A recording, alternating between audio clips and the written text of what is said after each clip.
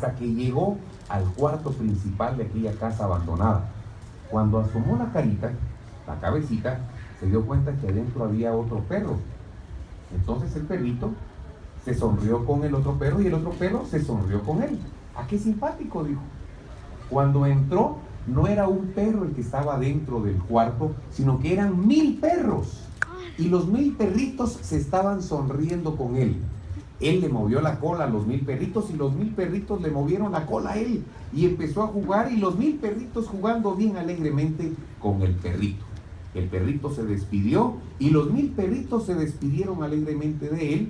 Y el perrito salió y dijo, mañana voy a regresar a esta casa de los mil perritos porque los mil perritos son bien amables y me cayeron bien.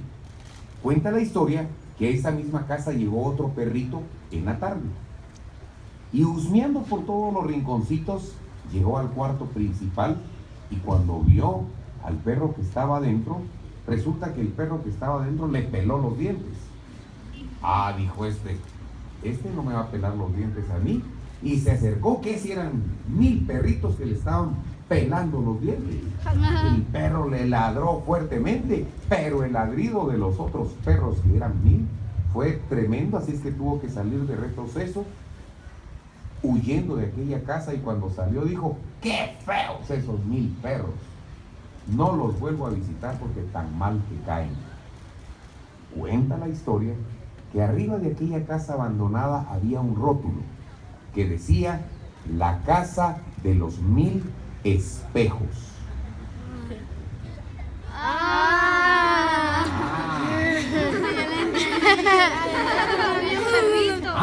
lo que estaban viendo aquellos perros que era su reflejo. El perrito amable, sonriente, recibió de los mil espejos la amable sonrisa. El perrito enojado con la vida recibió de los mil espejos enojo y amargura.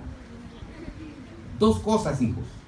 Primero, nosotros, ni tú ni yo, tenemos la culpa de la cara que tenemos, ¿verdad? Pero sí tenemos la culpa de la cara que ponemos. ¿Sí? Todos ustedes son bellos, son hermosos, todos.